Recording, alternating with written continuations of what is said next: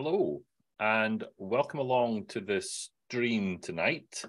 Um, for those of you who were expecting to see Josh here, I hope that you're not too disappointed.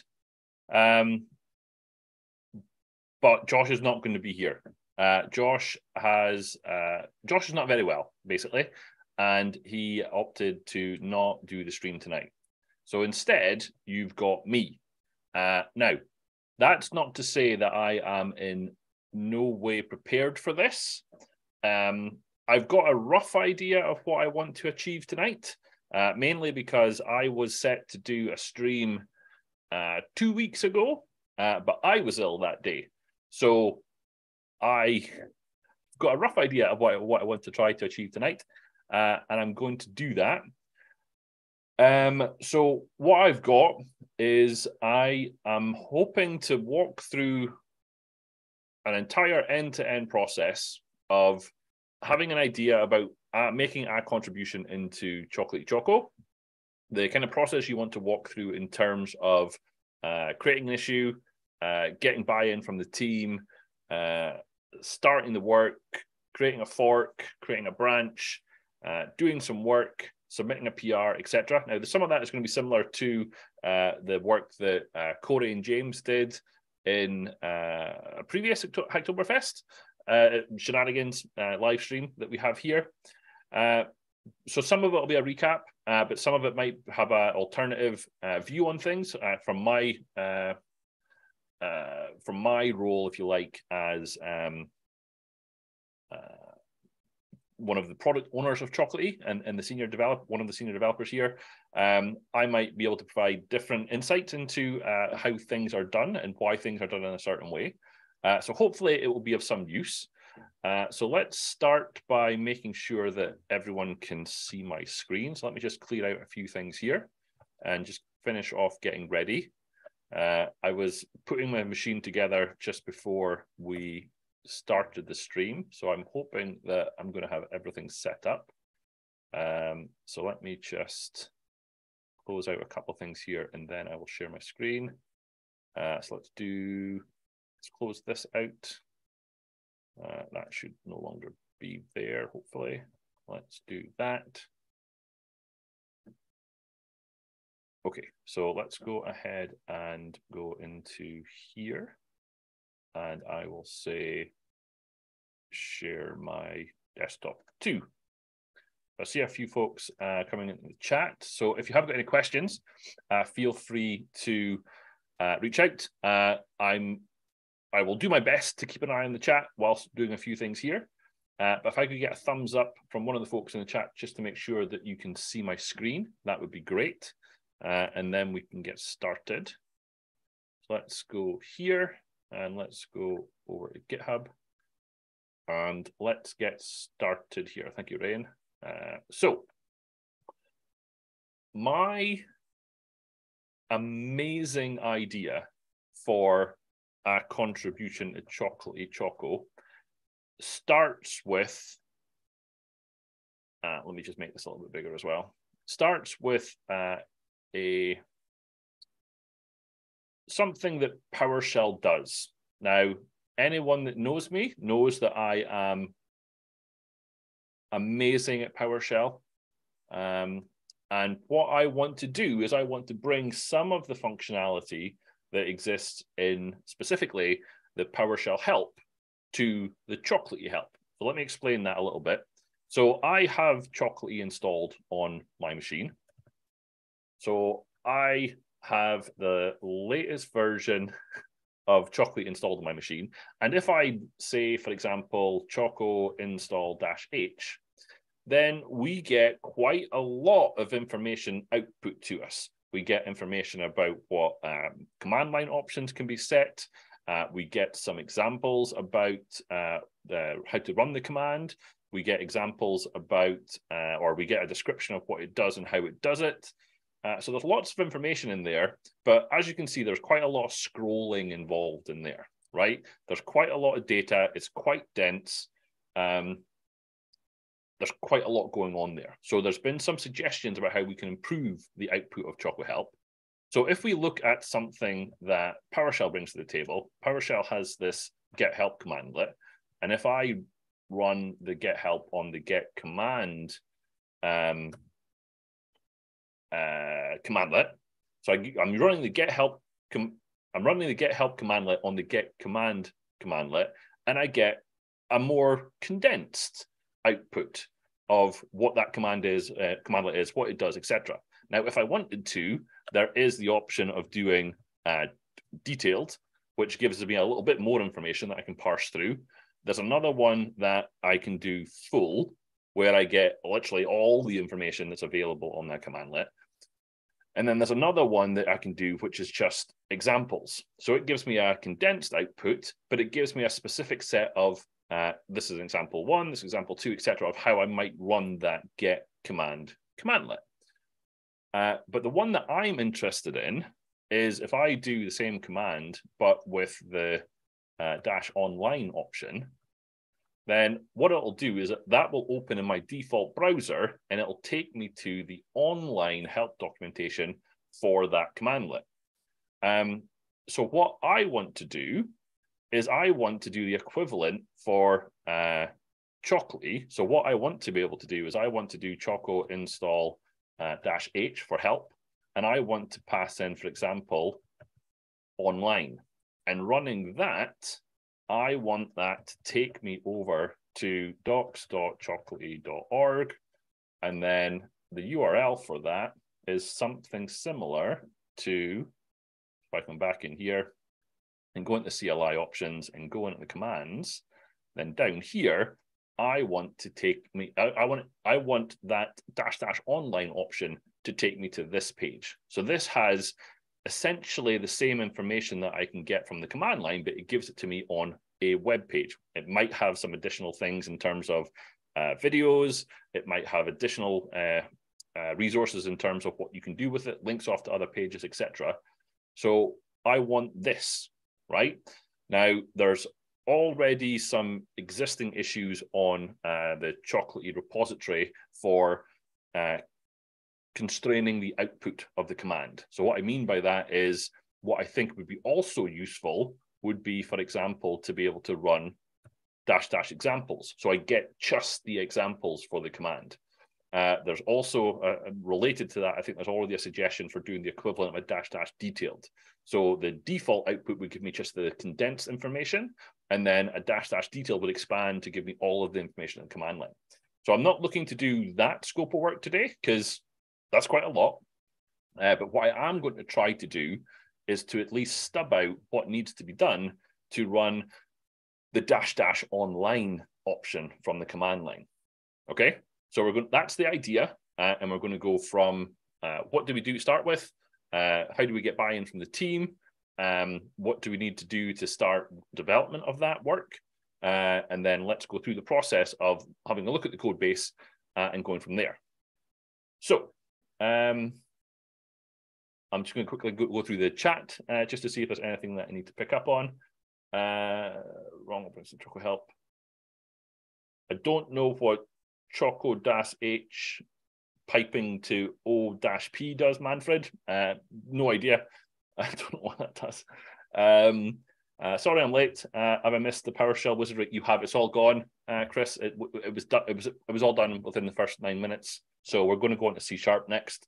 Um, so, uh, so where do we start? Right. So the starting point for um, making a contribution into Chocolatey is creating an issue. Uh, pretty much everything in Chocolatey uh, from a repository management point of view, from uh, this is what we're working on point of view, this is where the project planning comes into play.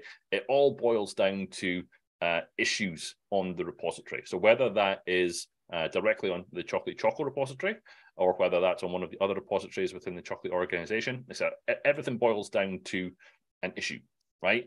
So there's quite a lot of issues. Uh, there's an active scope of work, which is to uh, better triage the issues so that we get down to a more manageable list. But for now, if I were to search for help within here, then one of these is one of these uh, is specifically around. Uh, there's quite a few. That's I, I, need to refine the search a little bit. I'm almost convinced that there is a uh, issue in here for truncating the output of the help command, uh, but I'm relatively sure that there's not uh, one for uh, online help.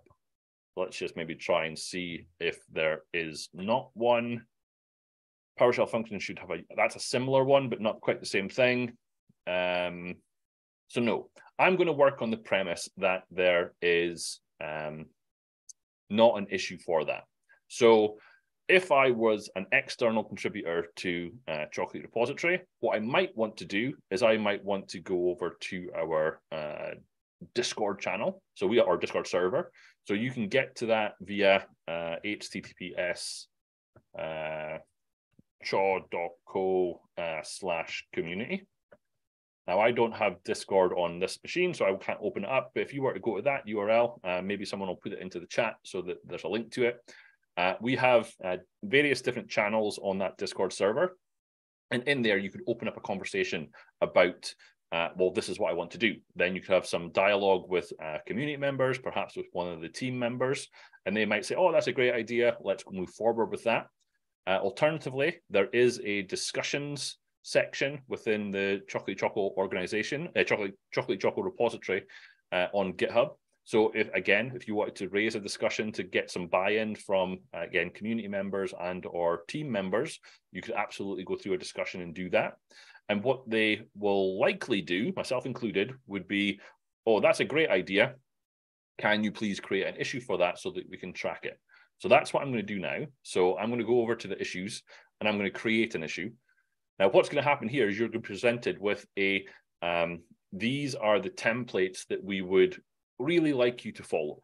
Um, the, the templates have been created in such a way that we're trying to capture all of the pertinent information for um, making sure that we can interact on that issue that we don't have to go backwards and forwards in terms of well can you give me this information can you can you give me this information so it's incredibly important if you're reporting an issue to capture all of the information that's in that template.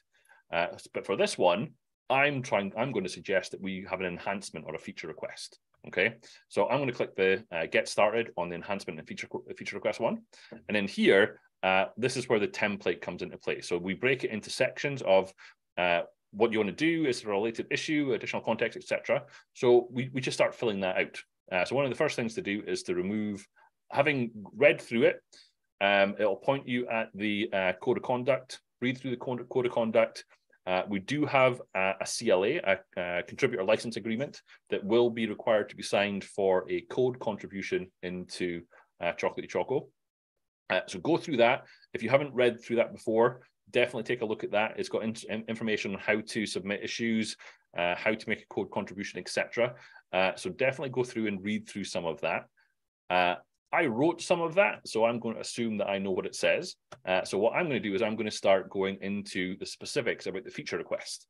Uh, so the first section there is, is your feature requ re uh, request related to a problem?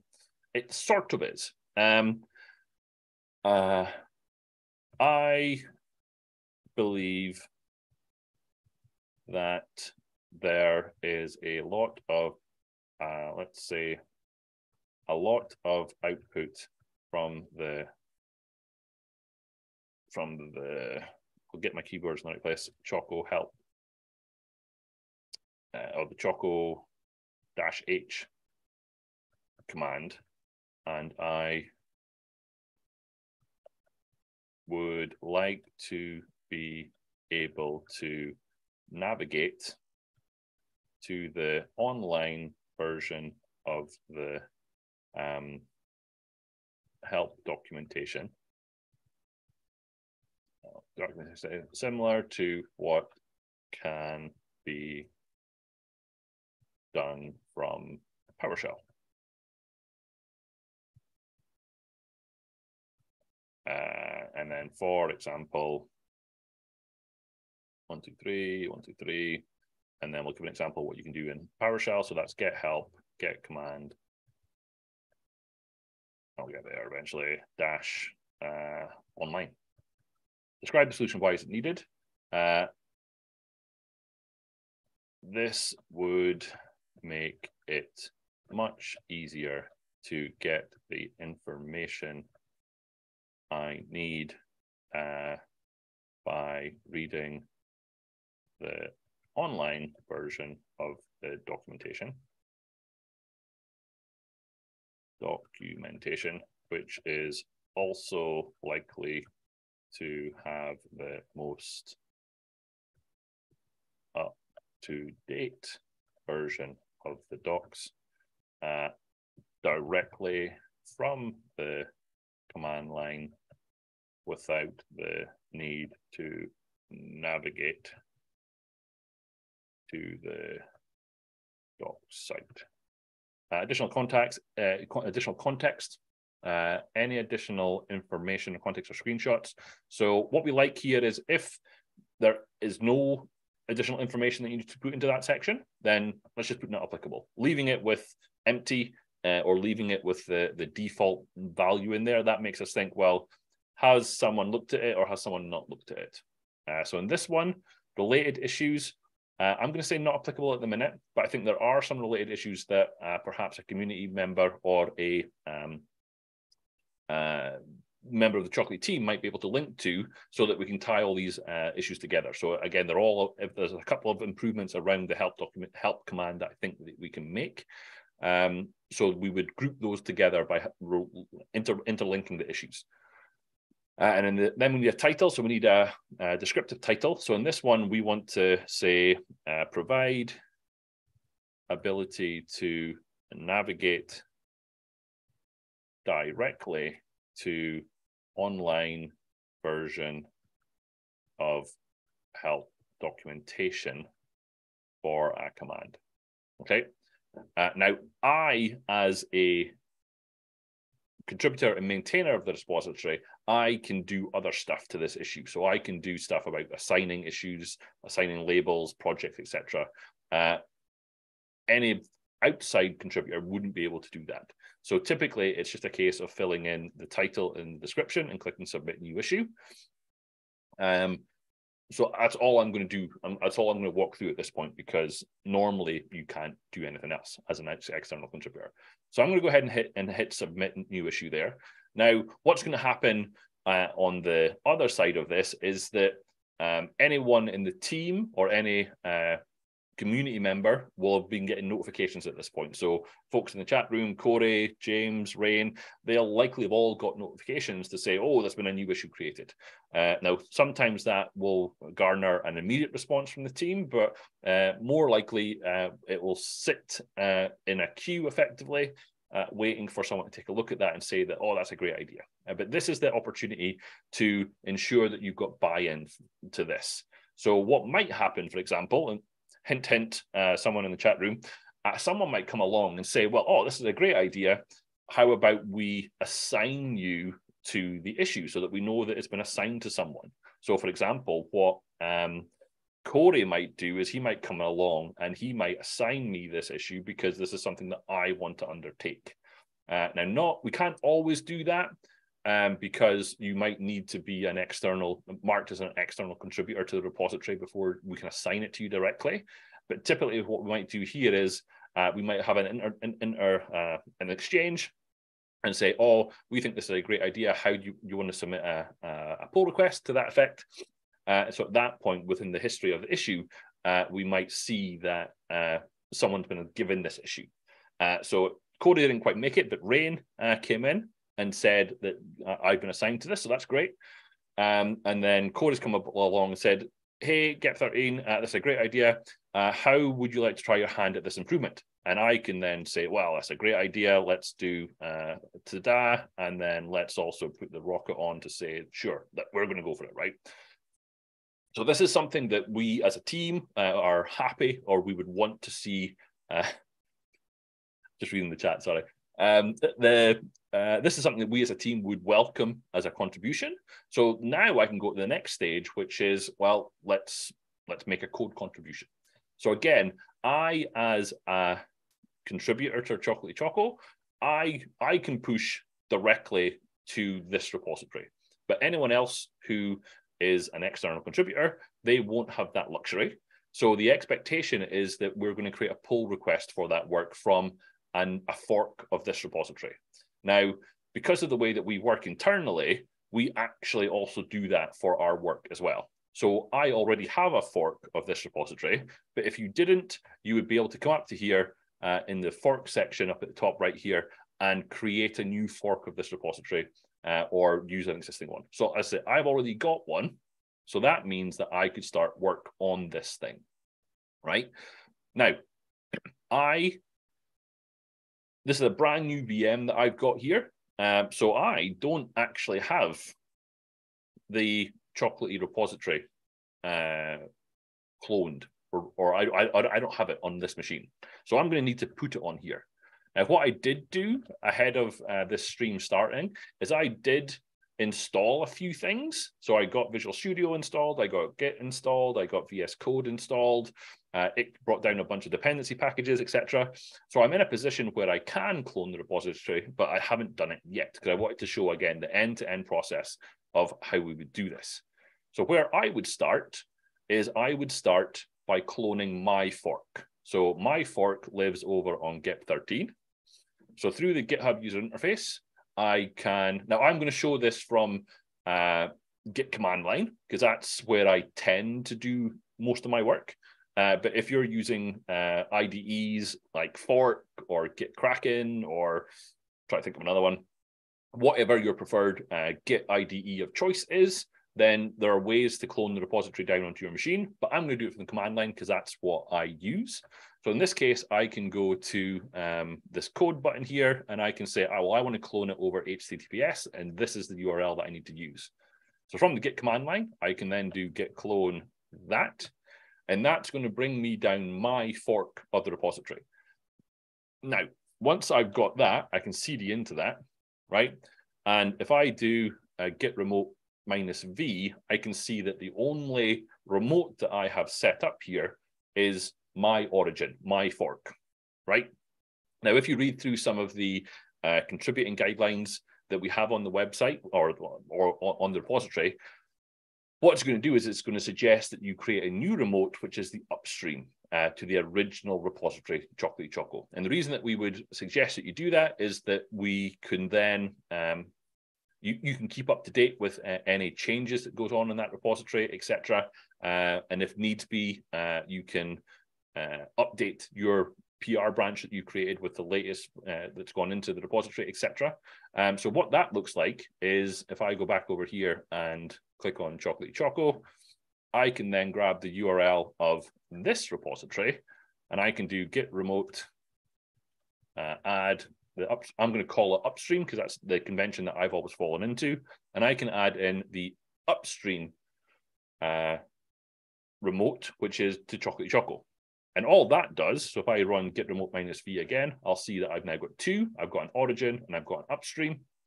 And at this point, I am in a position where I've got all the code locally on my machine ready for doing stuff with, right? Now, because if you were doing this from, from scratch, you could almost, you could guarantee that this remote, my fork, and this remote, the upstream, were at the exact same point. But because of the way that Git works, it's a distributed version control system, there's entirely the potential that those remotes are out of sync. There might have been commits made into the uh, Chocolatey Choco repository that you need to bring down into uh, your local clone uh, and vice versa. So you need to make sure that your two remotes are in sync before you want to start any work, right? Now, what that means is, again, we cover this in some of our, our some of our documentation, but what it mean, makes what I want to do is I want to make sure that I am on the the branch that we want the work to come into. Now, uh, the Chocolatey Choco repository, again, reading through the contributing guidelines, uh, it requests that unless you are explicitly told otherwise, you want to make a uh, pull request into the develop branch. So if I go over here and look at the uh, active branches on uh, this repository, you'll see that there's both a develop and a master. Uh, but the develop one is the default branch. So that's the one that you want to commit your changes onto. Now you'll see that I'm not on the develop branch. Now, that's because my fork predates the existence of the develop branch. It's quite an old clone, an old fork of this repository. So I need to check out that develop branch. So I can do that using the git checkout develop command. So at this point, I've now got the develop branch, uh, and I need to make sure that my develop branch is up to date with the upstream develop branch. So I can do that by first fetching any changes from the uh, upstream remote. So there's a few. And then what I can do is I can do a git rebase from the upstream on the develop. Uh, and what that's telling me is that actually on in my current state, everything's up to date. Uh, and what this is telling me is that this is the first time that I have uh, done anything with Git on this machine, and I need to sign in into this browser. So what I'm going to do is I'm going to stop my share just a second. Oh no, hold on. I was already signed into GitHub, so it's maybe going to let me in. Authentication succeeded. Okay, cool. So uh, I can close that tab because that didn't ask me for uh, username and passwords. So at this point, my clone or my fork of the uh, Chocolatey Choco repository is up to date with what's in the upstream. So I'm in a position to start doing some work. So again, uh, reading, if you go to the contributing guidelines, our recommendation is that any work is done on a branch off of develop. There's good reasons for doing that. We're not really going to cover that too much uh, in this stream tonight, but um, it's just harder to uh, accept contributions and make suggestions on contributions if it's not done on a branch. So the recommendation would be to always do that. So what I'm going to do is I'm going to do I'm going to check out a new branch, and I tend to name the branches uh, and associate them with the uh, issue that I'm uh, contributing to. So in this case, the issue number is 2867. So when I create my branch, what I'm going to do is I'm going to name it issue uh, 2867. And then as a rough indication, I'm going to say help online. And that will uh, help me when I'm looking back at my branches, which one was I actually working on? And just for the sake of completeness, for the, the git command, I'm going to specifically state that I want that branch to come from the develop branch. So at this point, if I do git branch again, then I'll see that I've now got three branches here. I've got the develop one, I've got the master branch, which is where we started, and I've now got this new one, which is the one that I'm going to actively work on. Okay. So then what we need to do is if I want to open Visual Studio, now currently Visual Studio 2019 is needed in order to uh, easily build the solution. Uh, I think we can or could get it to work under 2022 with some work. Uh, but Visual Studio 2019 is the one that I would recommend at the minute. So I would want to go ahead and open this solution in Visual Studio. Now, if I were to attempt to build this uh, solution in Visual Studio as it currently stands, it will not build correctly. Uh, now that's documented in the uh, contributing guidelines as well. Uh, within there, there's a section about building the solution. The reason is that there's a missing file that we generate as part of our um, repeatable uh, orchestrated build that we have. Uh, and we generate that not through Visual Studio, but we generate it uh, from our command line build that we use. So what we need to do is at least once we need to run the uh, it's trying to keep up. I need to run at least once uh, the build.bat file, or if you prefer, the build.ps1 file that is located in this repository. So I'm going to kick that off. Uh, so what that's going to do, just to give a while that's running, we use a build orchestration tool called uh, Cake to do all of the things that we need to do. So that includes uh, cleaning up all the artifacts of a previous build. It includes uh, running a compilation with MSBuild of the solution that we're working on. It includes running unit tests. Uh, it includes uh, IL merging some of the artifacts that we create as part of the build. Uh, it includes running some static analysis on some of the, uh, the, the projects in there. It includes generating uh, NuGet packages. It includes generating Chocolatey packages, etc. So we use the orchestration tool known as Cake to do that work. And one of the things that it will also do is that it will generate that missing file that would ultimately fail the build within Visual Studio. Okay. Um, so I'm not going to sit and watch uh, this build run in its entirety because it takes a couple of minutes. Um, but the end result of that should hopefully be a successful build. Uh, and that would give us a set of artifacts that we would ultimately be able to uh, make use of. Uh, but for now, because the build has gotten past the point that I know that is uh, needed, we can then go back to Visual Studio and the build within Visual Studio itself will also work. So I'm just going to go ahead and minimize that. And I'm going to do a Control Shift B here, which is to uh, run uh, the build within Visual Studio. Now, the build within Visual Studio is a much more contained build because all we're doing there is the MSBuild portion of the work. We are we're not doing all of the other things that our uh, orchestration of the build using Cake is doing. So it's it's a little bit faster to run uh, because it is that much more constrained version of uh, the build. So we got down here that the build was successful and the build succeeded. Okay, so what do we do next? Um, what we need to do next, uh, I'm just conscious of the time, so it's half, it's half past nine. Um, so I've got a little bit of time yet.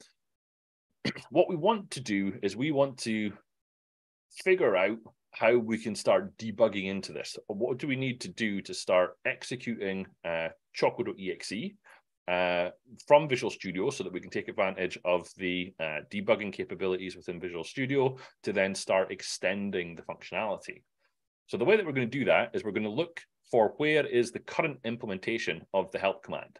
So because I know where that is, I could navigate directly to uh, Chocolatey infrastructure app commands and then the Chocolatey help command. if you didn't know the structure of our code base, then you can just go up into the Solution Explorer and type, for example, help, and then that will drill down to the class names that have help in the name, and then you would be able to find the help command from there. Uh, there's some tests that are associated with that, but for now, we'll just skip over the tests. And then in there, you would find the, uh, okay, so helpfully, each command has a help message method within it, uh, but you would ultimately find the Chocolatey help command as well, which is this one, okay? So with this in play, this is the C sharp implementation of the help command. So if we go back over here, uh, in fact, let's open up another one so that we can play around with uh, Chocolatey at the same time. So in here, if I run that Choco help command again, so Choco install dash H, that is the one that fires this command over here. So what I want to be able to do as a starting point is I want to set some breakpoints in here so I can see what's going on. Okay. Uh, so the one that I think I'm interested in is getting to this one. There's a display help message here that does stuff. So I think what I'm going to want to do is set a breakpoint, perhaps here, uh, but I also might want to set a breakpoint, say, on the run method. Um, and because I'm interested, oh, what what's that one? Let's just set a couple of breakpoints in order to see what's going on. Let's set another breakpoint up here to see what's going on, okay? Now, what I want to do is, well, what do I need to do to invoke Choco.exe from here and have it do something? So there is a big start, big green button up here. So anybody familiar with uh, Visual Studio, there is a big green start button, and that will trigger the project to be executed under debug mode, uh, which for the project that is set as the uh, default project for the solution. So the project that I navigated into to find the help command was the Chocolatey project, but that's not actually the entry point for Chocolatey, the Choco.exe. The entry point is the project that's called Choco.console. That's the one that actually generates the Choco.exe uh, the Chocolatey project is the one that generates the chocolatey.lib.dll, the the, the, the, the, assembly that contains the API for what is Chocolatey. So the one that we want is uh, chocolatey.console. And like I say, if it wasn't if it wasn't uh, in bold, you could right click on it and say uh, set to start a project. Now it's already done for us, so we don't need to worry about that. So if I just hit start here, it's going to compile the solution if it needs to, uh, and it's going to invoke the uh, choco.exe that's generated as part of that build, and it's going to show us what the output is. Now, the output of running just choco.exe, so if I go back over to my uh, window here and hit CLS, if I run choco, what I get is, well, here's the Chocolatey build number being output, and then a helpful uh, message here that is please run choco dash question mark or uh, question mark, which is a an alias for dash H uh, for the help menu. So I'm seeing the exact same thing from uh, the output from Visual Studio, but what I'm also seeing is some additional uh, debug output that I typically don't see in the main Chocolatey output, but that's because I'm running it under debug mode. And you'll also see that I've got a different version number here, but that's solely to do with the um, the fact that I'm not running the official version of Chocolatey. And I'm also seeing a debug build output here uh, as, again, a helpful reminder that we're not running the official version. But what I want to do is I want to debug into me running choco install-h, right? So I, I want to debug into that one to see what's going on. So what we can do is I can hit enter there to close this down, and then I'll get back to Visual Studio over here. So what I can do is I can right click on the Chocolatey console and hit properties. And then if I go over to the uh, debug section of here, then this is where you're controlling what happens when I click this big green button. So in my case, uh, when I click that big green button, I want to start the project, but I also want to pass in some additional command line arguments. So in that case, I can do install dash H. That's why I typed in command line. And by invoking those command line arguments into here, when I click the start button, those arguments are going to be passed through.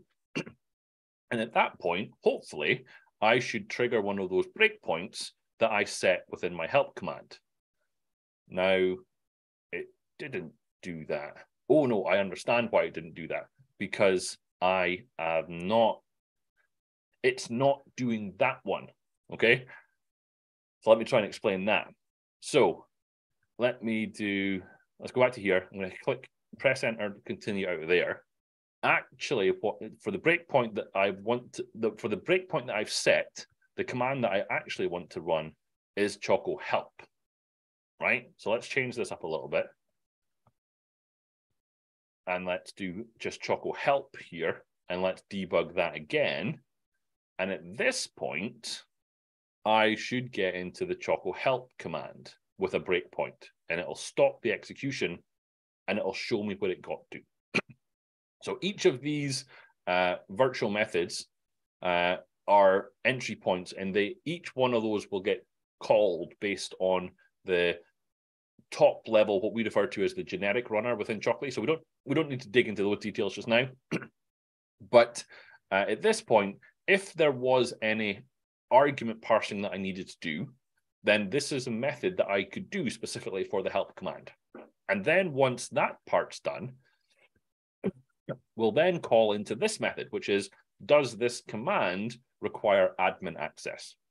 Because certain things in Chocolatey, we know that, say, doing a, an installation of a Chocolatey package, that does require admin access. For the help command, we know that it doesn't do that. So uh, Chocolatey, you can uh, constrain what the access requirements are uh, based on that and take the appropriate action when it needs to. And then if I click continue again, then we get into the run of the help command. And this would take us down into the display help message. Uh, so if I go down into that one, then I can uh, step through that code. And at this point, this is what would output the top level help command to say this is what you can and can't do within Chocolatey. So if I just let that play through, we'll see that output, uh, and that's the top level help. But what I'm interested in at the minute is looking at extending the individual uh, commands with that dash dash online option. Okay. Excuse me.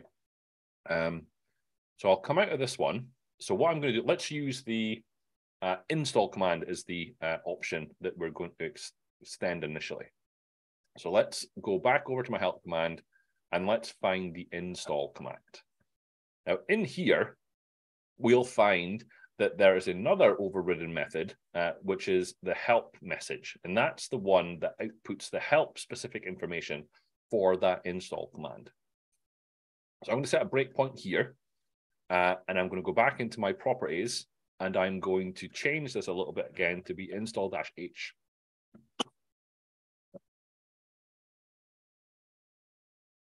Now, if you bear with me one second, I'm going to go and get a drink and I'm going to come back in just two seconds because I've got a niggle in my throat and it's not going to go away unless I drink something. So give me one second, talk amongst yourselves, and I'll be back in just a second.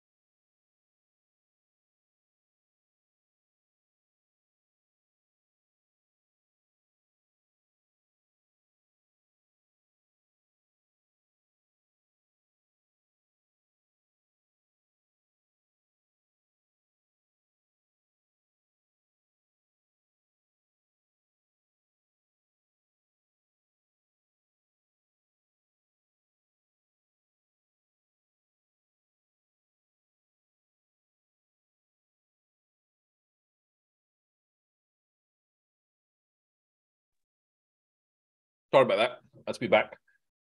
Um, I'm not sure how to pronounce that name in the chat, but Dorif 2, hey, good to have you along.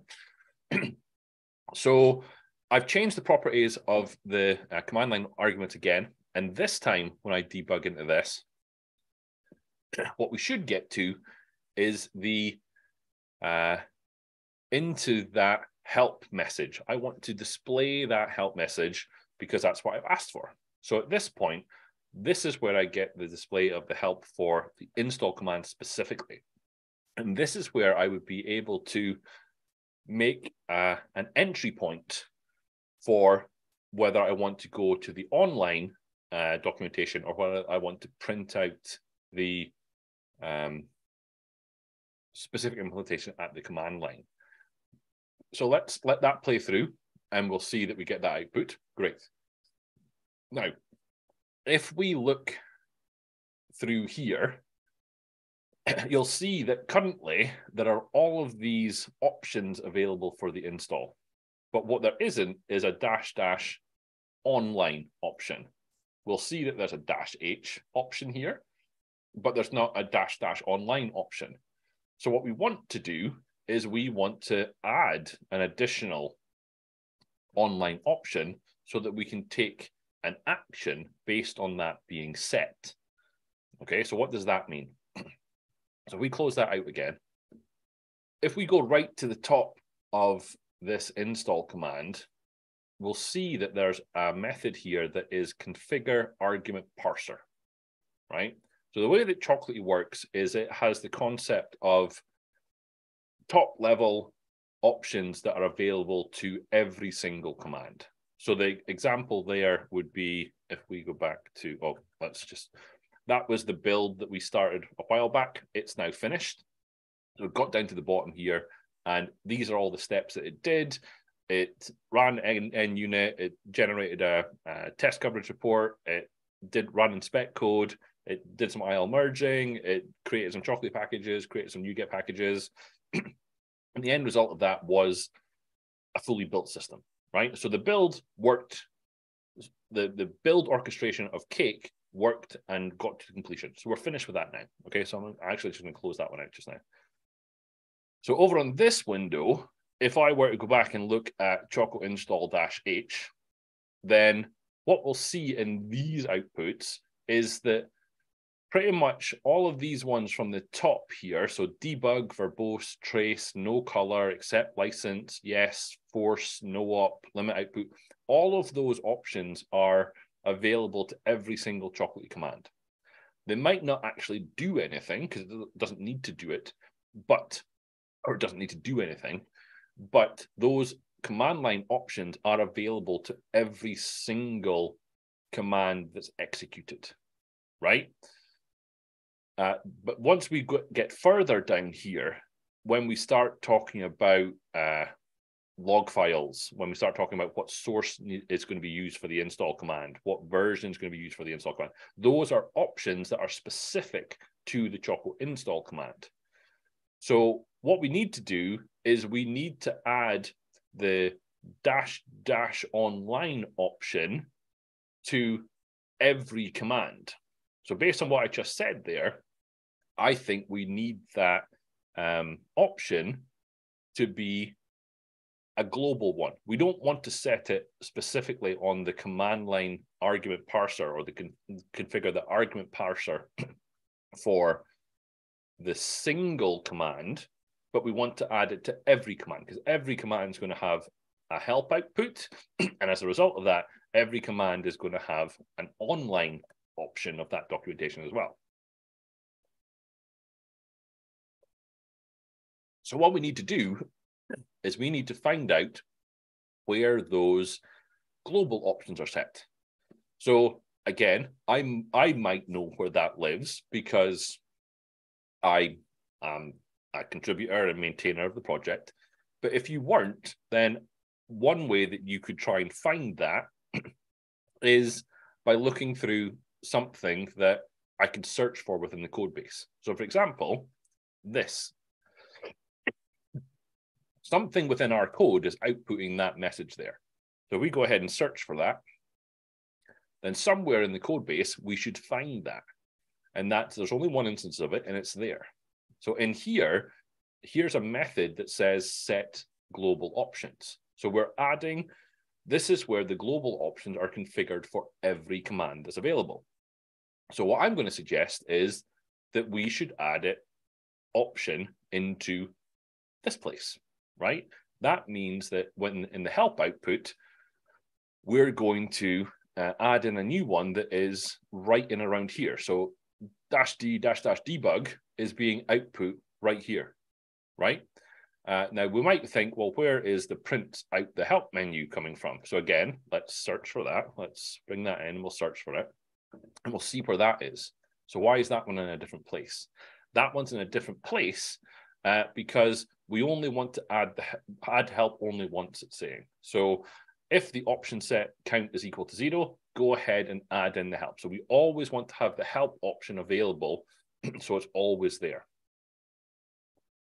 Uh, I see a question uh, in the chat there. Uh, sorry for being late. That's not a problem at all. Uh, what are we trying to do? what we're trying to do here is we're um, what I'm trying to do is I'm trying to show how I, as a external contributor might make a change to Chocolatey.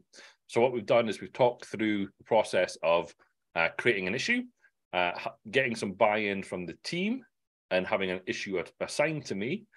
And then we've walked through the process of uh, clone uh, forking the repository, cloning the repository locally onto my machine, and then now we're at the point where we're actually executing uh, or trying to make some changes to the code base to achieve what we're trying to achieve. And in this instance, what we're trying to achieve is at the command line. What I want to be able to to do is I want to be able to do uh, Choco install dash H, and I want to be able to pass in also the dash dash online option. And hopefully, what that would do is the equivalent of what we can do in uh, PowerShell. So I can do uh, get help, get command dash online. And what that would do is open up the help page in my default browser to point to the online version of the help. So rather than relying on the help being output to the command line, what I want to be able to do is to do the same thing for Chocolatey help commands. and I'm going to do that by adding the dash dash online option to every command that exists within Chocolatey. And I'm at the point where we're just walking through how we can figure out how to do that. Okay. Um, where did you come from? You back over there. Um, so what we searched for there was the uh, verbose outputs. Let's just go back to that so we can find out where that was again. So what I'm going to suggest is I'm going to add a new option into my option set. Uh, so I'm going to do that by following the structure that we've got here before. Uh, now, when we provide uh, uh, an option on Chocolatey, typically there is both a single character version of it and a stubbed out full version of the command option. Um, in the case of this one, it would be something like O bracket. No, where's my uh, on this keyboard? And it's not there either. I'll find it eventually. There are, and then online. But I know for a fact that we are already using the single version O elsewhere.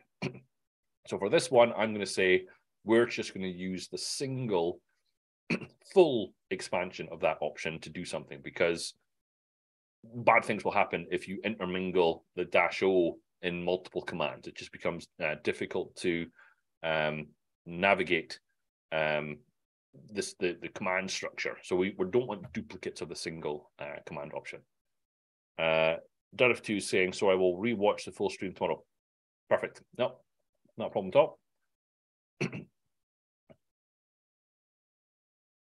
Uh, uh, uh, James is asking, and there's no difference here between single and double dashes. I'm not sure what you mean by that. Um, what I was referring to there was, in theory, I could do choco install dash h dash o to help take me to the dash the, the online version of the code. But I'm going to say dash o here. The single version representation of it is already used elsewhere, so I don't want to duplicate it. And instead, what I'm going to do is I'm only going to have the dash dash online option. Uh, so Rain saying double dash is generally used for uh, full word arguments. I think that's correct.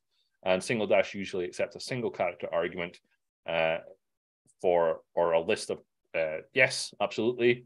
Single is for abbreviations, correct. Uh, you could probably want to avoid delving into argument. Yes, I agree with that too, Corey. Uh, I'm mostly just curious that there's no different, no differentiation. I, for some reason, thought that there was a double, single, double diff between the arguments. Um, I, for some reason, thought that there was single, double diff between the args. Um, so, for historical context, um, for historical context, um, Chocolatey, Chocolatey's command line parser will accept, as an example, pre with a single dash and dash dash pre with a double dash, even though technically the only valid one is that one. Right now, we we've left that in for historical reasons because originally Chocolatey was a PowerShell module that got converted into a, a C sharp executable, and PowerShell by default would do something like that. It would do single dash online, whereas norm. Um, oh, let me be careful. Listen, PowerShell folks on the call. Um, while PowerShell uses a single dash for a full argument representation, other ecosystems use a single dash for a single character, i.e., dash H, and then they would have a double dash for the fully spelt out option version. So for other ecosystems, these two options would be the equivalent, right? But in Chocolatey, for historical reasons, we accept both of those as the same thing, but we also allow the combination and the combin combinatorial explosion of single character options, for example, dash D, dash V, and dash F.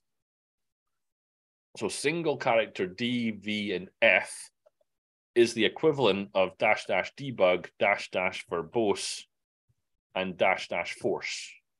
But the single character options allow chaining of the options together. But for this command or for this command option, I'm only going to allow the usage of the fully spelled out one, which is the dash dash online version of it.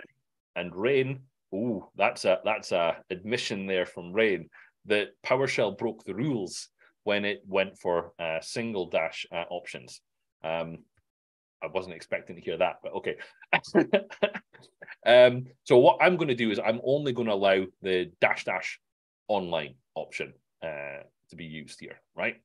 So then what we need to do is we need to uh, stub this out a little bit more. So what we then need to do is we then need to provide the uh, description. So we're going to spell this out as description, uh, and then we're going to say here is uh, open help for specified for specified command in default uh, browser application. We, wording's hard. We can come back to that to stub that out. Then what we've got here is option. Uh, so what we're doing here is, well, what do we want? So once our command line parser has correctly identified that the dash dash online option is provided, what do we want to do? So if we use here the example of the dash dash debug, so when someone passes in passes in uh, dash d or dash dash debug, what our command line parser is actually going to do is it's going to set the debug configuration option, which is then used within the rest of the execution of the chocolatey code, is it's going to set that to option is not equal to null. So it's assuming that the provided uh, uh, switch in this case is there and it's not null, we'll set the debug to that option. So effectively, it will become true or false, right? Um, so what we need, so if I just try typing this out, so I'm going to have config dot, let's just go with online. Uh, I'm going to say is equal to option not equal to null. Now that is going to be screaming at me that I need to fix something. So the screaming here is the red under, under underscore squiggly so what this is effectively saying is that that option doesn't exist on my configuration object. And it doesn't because I've, it's a brand new one that I've just created, right? Um, let me just catch up in the chat here a little bit. Um, Rain saying, uh, at some point, uh, we, we or I, uh, uh I being Rain, wants to rewrite the argument parser. I don't disagree with that at some point. Uh, I could have phrased that better. Um, in my defense, I'm eating a delicious pie. Lovely, James. I've got a can of Diet Coke. That's all I've got. Um, PowerShell broke the rules. Uh, see also people annoyed in PowerShell's uh, RM not supporting dash RF. Ooh, interesting. Okay, yes. So that they're the they some folks want the single character chaining of the options. Uh, a few folks have been very annoyedly talking to the PowerShell team about this the last few months. Interesting. Okay. Uh, will be more config help module online. Will be more config help module online. Uh, so I'm not sure what you're referring to there, uh, Dorif. Do you before you expand on that? Uh, I'm certainly um, happy to.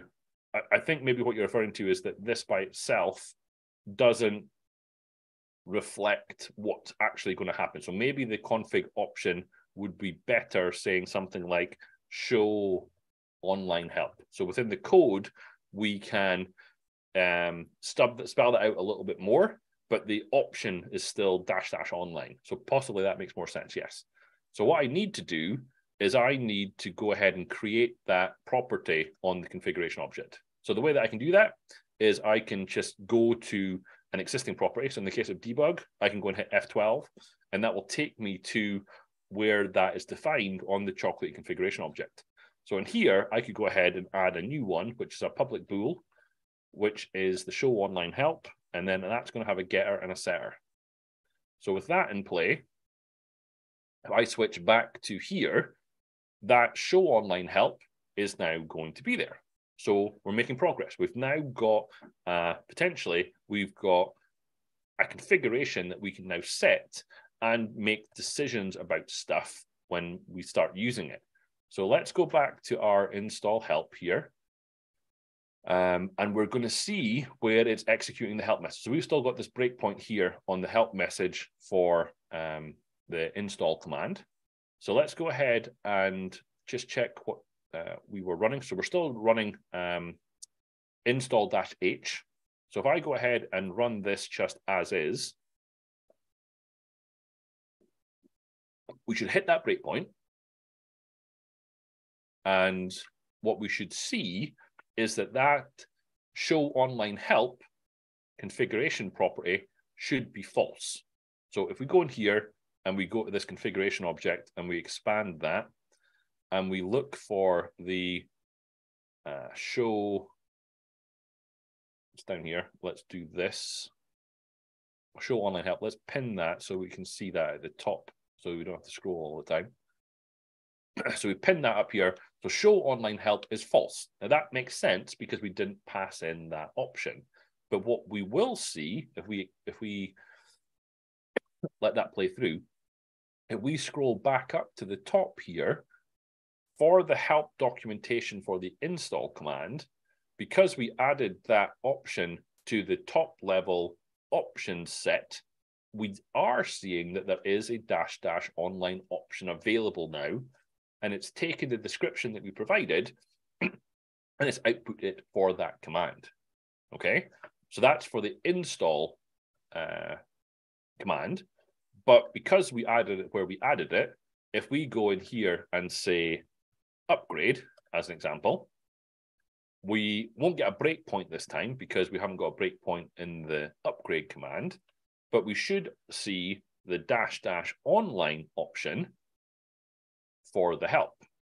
So if we scroll back up here, then again, we have the dash dash online option. Now I've put it in the same place as the help uh, with, so that's basically a visual cue to say, here's the help. And if you want the online version, you can use the dash dash online option. Okay. So we're making progress. So let's test this out a little bit further. So let's go back to our install command. And this time, let's also pass in the dash dash online option. So let's see if that part is working. So we'll go ahead and hit start here. Now we're at 10 o'clock. So I'd said to myself that we were going to finish around about the uh, 10.30 my time. So now at 28 minutes, we're going to finish up, mainly because I need to go and walk my dog. Um, so I've got about 28 minutes left of the stream, and then we'll wrap up, and I'll go and walk my dog, and then I'll go to bed. So if I hover over this again, uh, I can already see that the show online help option is now true. So now it's making that informed decision about whether or not um, that property is set based on that command line switch being added. So we've got into a point where we can now do something based on that. So that something would be as simple as, for example, uh, if configuration dot show online help, then in here, we would do something and then we would immediately return. So let's just do, for example, this dot log. This is not what we would do, obviously. Let's just uh, carry on with this part of it. So in here, we could say open browser to online help page, right? And if we save that and run this again, this breakpoint should never be hit. so it will never get to the point of printing the help at the command line because instead what it's going to do is it's going to open the default browser to that page. Okay. But that didn't work. So why is it still outputting the I'm confused by that. Did it let me hold on? what did I do? Open browser to default. So it did do that part, but why did it not return from that function? Why does it still output that? Oh no, hold on. This is maybe not the right this is maybe not the right place to do this. Hold on a second. Let me think. Um Uh, sorry, there's a comment from Durf 2 again. Was thinking about this to avoid the global pollution, but you are only one arg passed to the help function. Correct. Yes. Uh, what's happening here is because of the command structure within Chocolatey, there's it, it outputs multiple things. now, what I mean by that is it will output the um, common code, the common help documentation, and then this help message is actually saying, give me the help message that's specific for the um, command that you're running, and then I'll stitch it all together. So this part here, we're actually putting this in the wrong place. We don't want to put this here. Instead, what we want to do is we want to go and find the place where it's outputting this part, which is where we were before in the configuration builder. And at that point, we want to make the informed decision about whether we're going to output the uh, entire help documentation or whether we're going to only give the or, or whether we're going to go to the online version. So we're not quite in the right place yet. So what we're going to do is we're going to go and find where this is. There's a there's a reference here. So where's this? It would be in here. So what we're doing here is here's the generic runner that I mentioned before. We're going to run the command that's being executed. And if it starts with, or if help is being requested, then we are going to do stuff. And then in here, we're going to call the help message for the command. But what we're going to want to do is something else. So let me just think about this. I, I hadn't thought about this part, but let me just give me a second just to think about it. So, so this is the, the generic runner that is calling into the command that's been created. And the command is So show help message if there are any left. That's not what we want to do either. Unparsed arguments.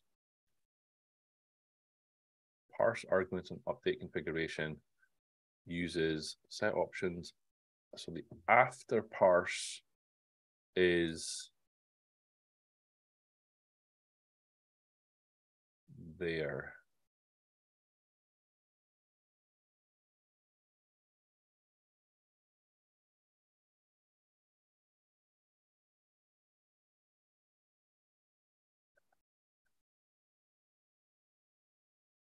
So that's where we provide the validations. This one here is the command RH configuration, set options, and then the after parse. So it's going to be in here, I think. Um, so in here, I think what we want to do is we have access to config here.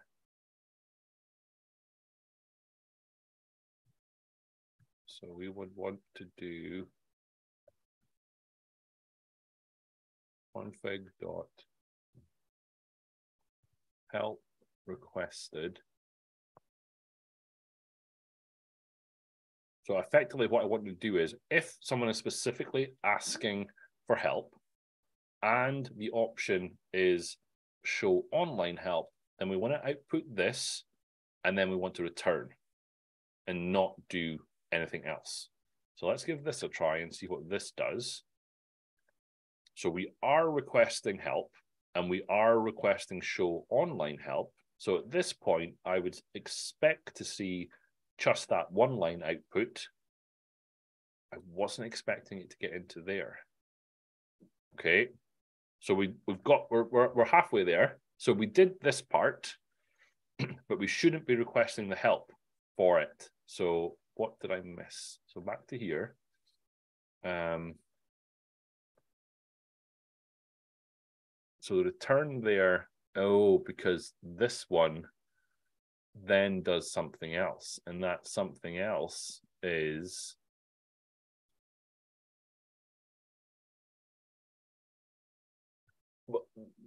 it well it is and it isn't so um so uh, there's a comment there from Durif too um so each of these are uh, functions that get called from within the parse arguments and update configuration. So if we actually go there then in here we do stuff and we call the um the actions that are associated with it. So you're right in the sense that um, you're right in the sense that the, the the the value that I was asking for. No, let me let me try this. Explain this a different way. So you're right in what you're saying in the sense that the which one was it? That you're right in the sense that help requested is being set to true here, but it's being set to true here because there, if it's if the feature for not ignoring uh, invalid options is not set, then Chocolatey will happily accept any options that it doesn't know about. But if that feature is not set, then if there are any unparsed arguments, we want Chocolatey to halt and show the um, help documentation because the command that's been input is effectively wrong. So here we're explicitly setting help requested to be equal to true, but the virtue of adding the dash h parameter also sets the help requested to true, if that makes sense. So um, let me go back to where I was. Uh, so let me go back to here and say, uh, go implementation again. So in here, yeah, here. So if the dash H option is passed in, that help requested is being set. So in this scenario, where I want to this here, right? Okay, so this is where we want to do it. So we're we're getting there. We, I think we're going to get there in the end. So again, I'm going to take this part out of here because that's not quite the right place to do it. And in here, I'm going to say if the configuration, oh, if configuration is requested, so we've already got that part, so we're in there. So if config configuration.show online help, then I don't have access to a log there because I don't have access to a log. This must be a static class, is it? Yeah, it is. Okay, so that's why we don't have logging there. So let's let's just take that part out just now then. So in here, rather than show help, we're just going to return. So okay, so let's see if this works. Might have just got there. Right. So we're running this with dash H with dash dash online. Uh, so what we're going to see is effectively nothing. But if we had the code, it would have went and said, let's open up the browser to that uh, help instead. So I think we're at a point where we have what we want. So in here, what we want to do is we want to open the browser. Now, this is the part that I didn't fully look into because um, I wasn't sure how far we were going to get to it. But according to a quick Google that I did, um, it should be as simple as calling uh, explorer.exe with a URL, and that should cause uh, your default browser to be opened with what to the URL that you've specified. So, as a very, very crude test, what we could do is start a new process. Uh, Now I, I, I need to remember how to do that because it's been a while. Um, but effectively, what I think we want to do is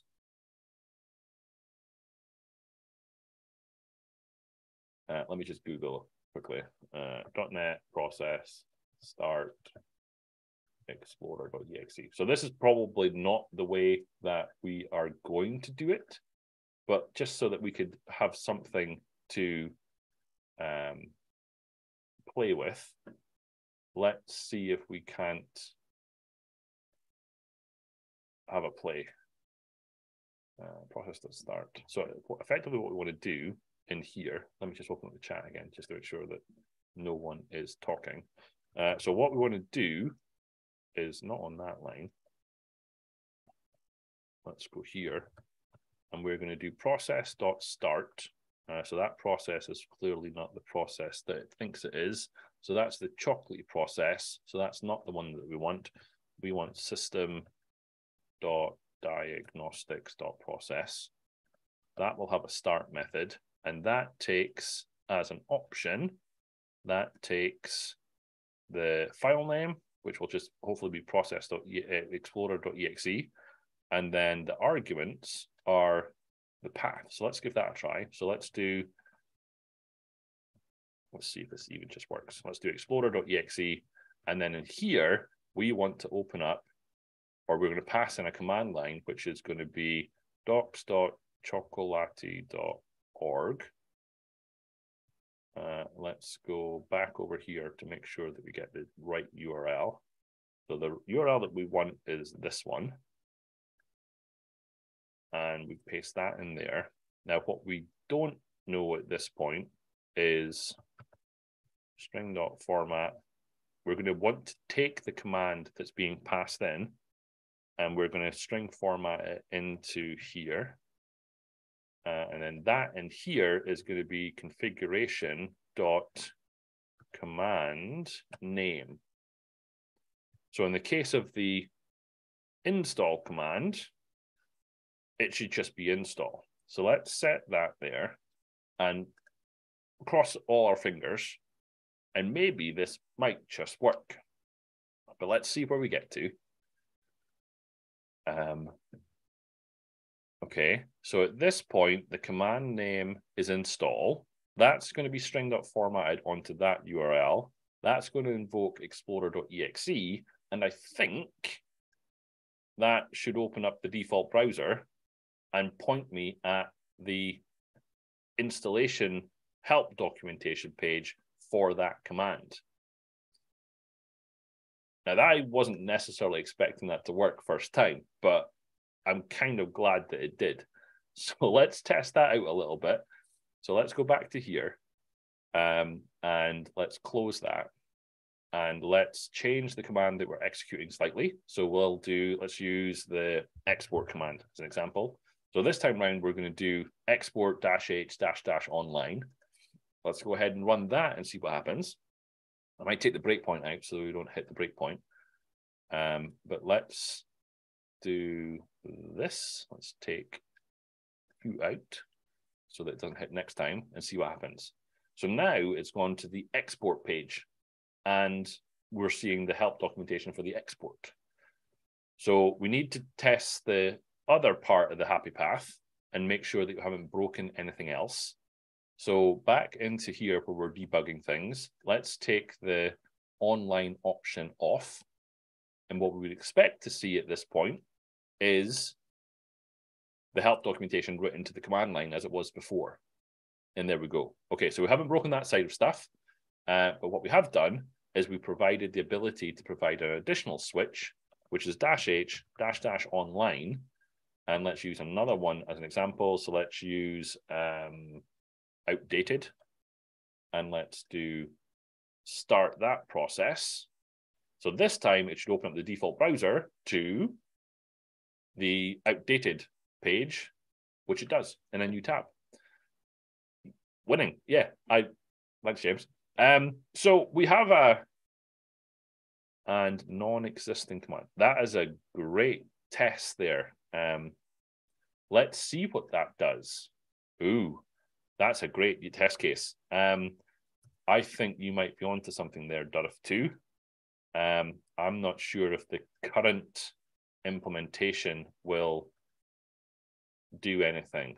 So Durf 2 as a command, what happens there? That's a great question. It won't be, no, I think it will work. Yes. So uh, earlier in that process, in order to be able to run a command, it has to be have it has to have been able to have found a registered instance of the an ICommand that matches the command name that was passed in. So before it even gets to any of that logic that we've just added in, we've already got handling for that. Uh, so in this case, it couldn't find a command register that meets that of 2. So we're good. We haven't again, we haven't broken anything there. Um, oh, I like it. Um, so in the nine minutes that I've got left, how would we close this out? What do we need to do in order to uh, put this code back to Chocolatey Choco for um, for approving, uh, for communication, for interaction with the team to discuss it? What do we need to do next? So I'm going to take the next nine minutes to finish that side of things off, because then, as I say, I need to go and walk my dog. So if I go and do, uh, I'm going to CD into GitHub organizations Chocolatey Choco. Uh, I'm already on the branch that is the associated with the issue. Uh, so what I can do is if I go and look at Git extensions, uh, which is my uh, Git IDE of choice, uh, if I go and open this up and so what I've got here is I've got three files that have been changed. So in here, what we've got is uh, that was the addition of the online option uh, to our global option set. Then we've got the setting of the show online help property, which the option set is then setting. And then we've got one simple addition at the minute, which is to show the online help. So what we can do is let's just go ahead and, and stage all of these. And when we are creating the um, commit message, there is a fairly standard format that we sort of want the um, commit to come in with, and it's documented in our contributing uh, .md file on the repository. But effectively, what that looks like is we want to know on the first line of the commit message, we want to have that set to uh, the the issue. So in this case, it's the issue uh, 287, 2867. And in the first line of the commit message, we want a uh, down version of what's being done. So what we're doing here is add uh, dash dash online option to all commands. Now we want that first line to be no longer than uh, 50 characters uh, because of reasons, historical reasons again, but that's the format that we've chosen. So if you need to, you can expand on the information that goes into the commit in the body of the commit message. So here we'll say this commit uh, adds the dash dash uh, online option to all Chocolatey commands to allow opening of the online help documentation for the command that is being executed. For example, running Choco uh, install dash H will output the help documentation to the console, but running Choco install dash dash dash H dash dash online will not output anything to the command line and instead open the default browser to the help documentation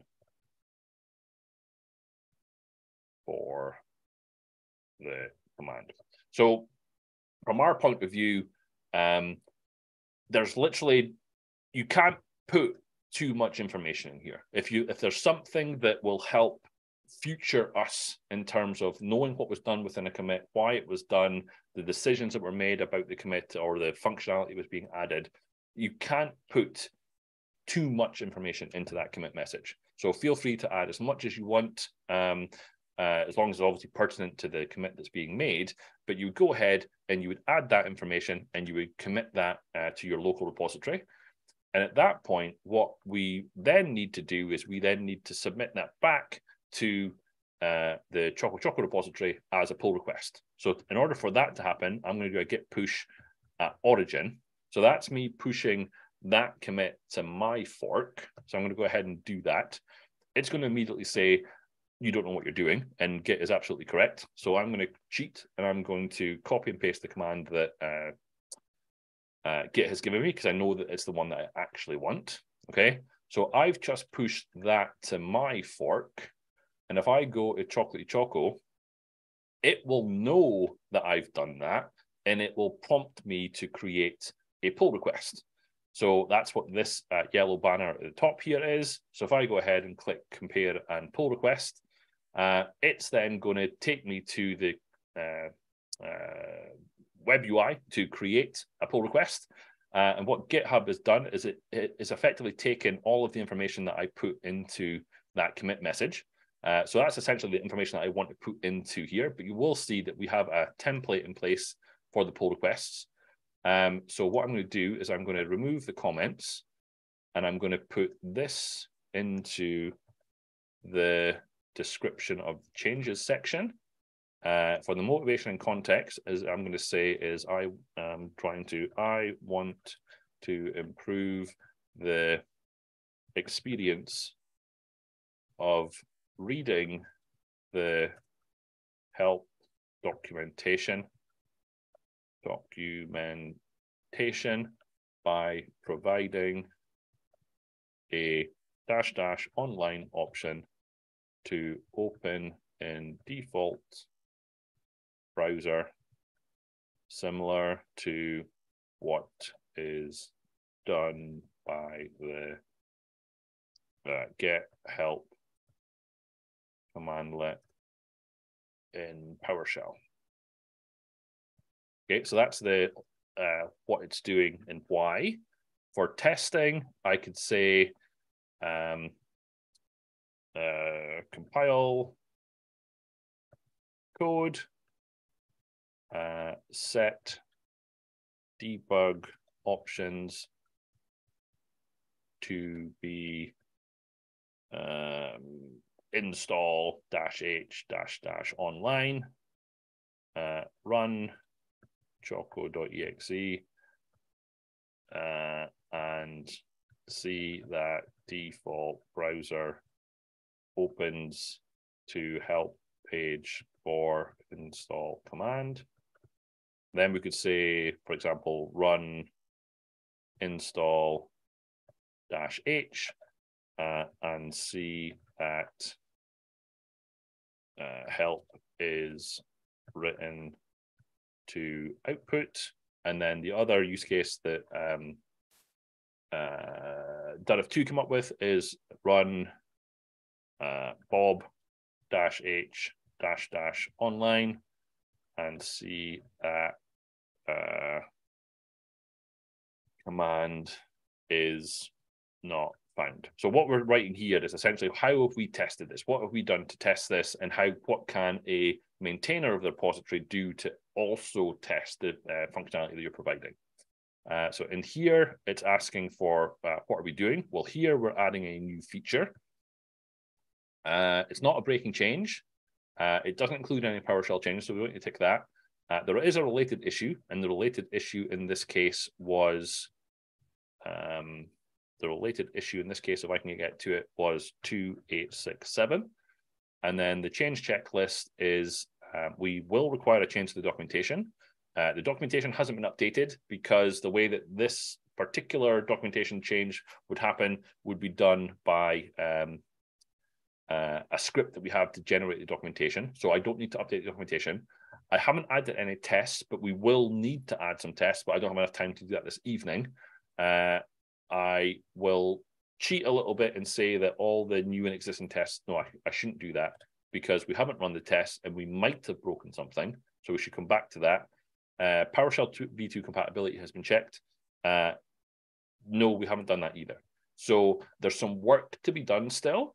So what I'm going to do here is rather than create a pull request, I'm going to create a draft pull request to indicate to the maintainers of the project that there's still work to be done here.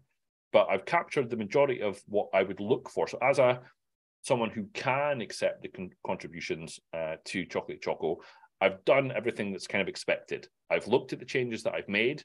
I've made a descriptive commit message that uh, uh, shows um, what I've done and why. I've linked that by the virtue of the fact that I've used the GitHub nomenclature to link it to the upstream issue. I filled in the PowerShell, uh, the PowerShell. I filled in the pull request template. Uh, I'm going to go ahead and click draft pull request here. So what would be the next phase would be that someone on the Chocolatey team would at some point now we don't we don't provide any um, SLAs in terms of uh, when a um, pull request will be reviewed, uh, etc. But we do endeavour to get to them as soon as possible. But at some point in the uh, the the project, this will be looked at. Uh, I'll probably get some feedback that says, "Well, you need to add some tests," and that's perfectly valid. Um, but what we've done is we've gone from end to end. We've just as a quick recap, and then I'll come. I'll see there's some messages in the chat, so I'll come to them in a second before we close off for the night. Um, what we've done is we've where we started was we identified that there was something that we wanted to uh, add into Chocolatey. Uh, we opened an issue. We got some feed, uh, buy, buy-in from the team to say that this is a good idea. Uh, it's been assigned to me. Um, we've then uh, cloned the repository. Uh, we've, or, or, rather, we forked the repository. We cloned it locally. We've jumped into the develop branch. We've made sure that everything is building and working both at the command line for the build and within Visual Studio. Uh, we've created a branch for doing some work. Uh, we jumped into it in terms of being able to figure out how to debug uh, the solution and set breakpoints and see what's going on. Uh, we've then uh, looked at the various uh, help entry points to figure out where we need to actually do the work that we were looking to do at this point. We've done that. We've done a very basic implementation of opening up the default browser, and we've tested it and we've made sure it works. And we've created a commit into our branch we push that branch to our fork, and then from there, we create a pull request back in the Chocolatey Choco.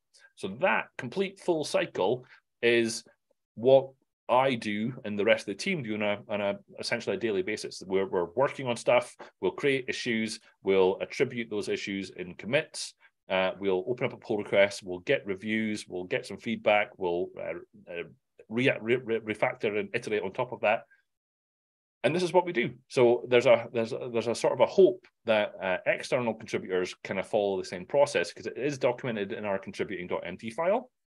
And I'm hoping what I've shown here is that it's not too arduous in terms of um, creating the issue, getting the buy-in, uh, creating the fork, cloning locally, creating a branch, doing the work, adding the commit messages, etc., etc., etc., submitting a pull request back, and then eventually, hopefully, that that pull request would get uh, merged into the code base.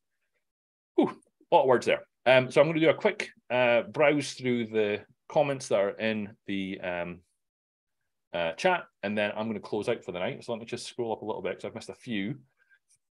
Um, so Durf2 says it worked, it did. Um, Tarmo saying, I've refactored slightly this code to my own fork and covered by testing as well. Uh, here are some tests I have added by myself. So uh, those links I think are not showing up and they're not showing up for me anyway, um, because um, yeah, so James is saying that the links were muted, unfortunately. Uh, use links in the format, blah. My own code coverage jumped to 60% after testing that one. Um, I think it was 13% less. Um, Ouch, big jump. Out of interest, how frequently do you bring the changes made in the main develop branch in Choco Choco? Uh, through working on it, a lot of testing has been done end-to-end integration testing styles, so possible it can affect code coverage stats. Uh, I think main command line uh, permutations happen in, so again, those links unfortunately have not been linked. Um, you may be uh, teasing me with asterisks at this point. this shown. Uh, lots of comments there. It's not shown to me. Uh, that works. uh, add github.com before, indeed. Uh, I think the main command line implementations, intriguing, the end. Um, so, so yeah, um, so uh, yes, there I, I, think the what's been referred to there is that Tarmo has done some work on a fork that he has, uh, which is a fork of Chocolatey Choco uh, that's doing some stuff that's specific to his uh, requirements, uh, and that's great. And he's been able to do some work to improve the command line coverage uh, or the code coverage of uh, the Chocolatey Choco repository. Because as you'll see at the minute, our code coverage is sitting at 28%. Um, that's not ideal. we would want some. We would want more of that. Uh, what James was referring to there in chat is that in addition to uh, unit tests and integration tests on the repository, we now do have um, what we refer to as end-to-end tests or integration tests. Uh, so in here in the test repository, a test folder, you will see now that there is a range of uh, pester tests. So these are tests that are fully exercising Chocolatey.exe from end to end. Um, so they benefit from the fact that they're actually executing Chocolatey.exe and we're looking at the output and making sure that things are functioning the way that we expect them to. So those uh, code, uh, those uh, pester tests don't uh, flow into the unit coverage metrics uh, on Chocolatey Choco, um, but that is something that we are looking to um, expand out on. Um, and we welcome any sort of um, improvements in that area in the Chocolatey Choco to improve on that uh, so that any external work uh, gets that functionality back into uh, Chocolatey Choco. We would welcome those sort of contributions back in, absolutely. Um, so for now, uh, that I, am done. Uh, I was quite uh, happy to get to a, a, kind of a natural stopping point there. I wasn't sure that I was going to get there, um, but we did. So looking at the changes, it was quite. It was only a couple of few small changes, uh, but what we have added there is this new uh, dash dash online option, which will result in um, the.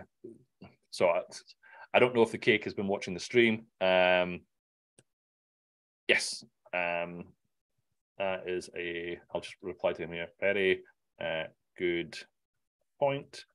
This was done on the Hacktober Fest stream as a very quick um, as a very quick proof of concept uh, and why the PR was created in draft format uh, and then we'll do a wee smiley at the end as well, and single line comment. Um, the other the, there's other stuff in there in terms of uh, at this point, while this URL works, um, there's no guarantee that the help documentation will actually live at that URL in years to come. Um, so most likely what we'll actually put in here is the usage of the uh, short link that we have. So again, we have HTTPS uh, colon whack whack uh, C one slash. So I would expect that perhaps we would do something like this instead, or maybe just help install or something. We would we would create short links for um, each command with help, and then it would redirect to the place where we know that that documentation lives. So if we ever change the formatting uh, or change the URL format, um, we could bring that through and not have to update the code base. Or we might bring this out as a configuration option, an environment variable, or something so that we wouldn't have to uh, recompile the code each time it, it, changes. So there's definitely work to be done here. Uh, this was very much just a proof of concept to show that it does work. Uh, and I was quite happy to see that it did work the way I wanted it to, with very little uh, code changes to make it happen. Um, but yeah, so that was the that was the stream. Uh, so I'm going to go ahead and hit uh, stop share here. Uh, I hope that this has been useful. Um, the takeaway from this is not specifically the, the code changes that we've made here, but what I'm hoping the folks can take away from this is this is how we can get involved. This is the kind of level of interaction that we kind of want from uh, folks contributing. Uh, the ability to debug the code, step into it with breakpoints, see what's going on, uh, and provide meaningful updates back into the code base. I hope all of that has been useful. If you have got any questions, uh, feel free to reach out to me. Um, I'm available on GEP13 pretty much everywhere. Uh, Twitter's a good one. Um, so feel free to reach out there. Or if you've got any specific problems or concerns about Chocolatey, um, the Discord channel that I mentioned would be a good place to start. Uh, or you could open up a discussion on uh, the chocolate chocolate repository in the discussion section up here. Uh, create a discussion there, and we can open up a dialogue with the team, etc., uh, etc. Et Lots of ways to get involved with the project. Uh, for now, um, I think that's um, all I've got. I'm going to go and walk my dog, as I said. but for now, I'm going to sign off. Um, that's it. Done yes, I'm gonna. I, I, don't, I don't think I've got anything else to say. Uh, thanks for all the interaction in the chat. It was really useful. It was really good to see that. Um, if you've got any further comments, then uh, let's follow up elsewhere. Uh, but thank you very much. I'm going to head off. Thank you very much. Bye bye.